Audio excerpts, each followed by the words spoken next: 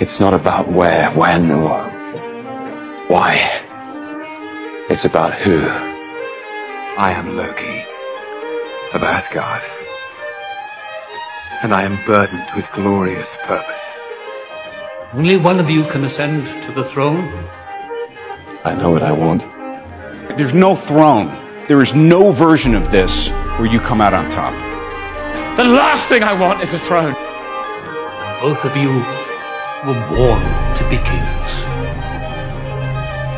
I know what kind of god I need to be. I can rewrite the story. For you. For all of us. I don't want to be alone. But without them, where do I belong? Do you think that what makes a Loki a Loki is the fact that we're destined to lose? Comfort. You just choose your burden. Burden with glorious purpose. You are alone. We're all writing our own stories now. Go write yours. And you always will be.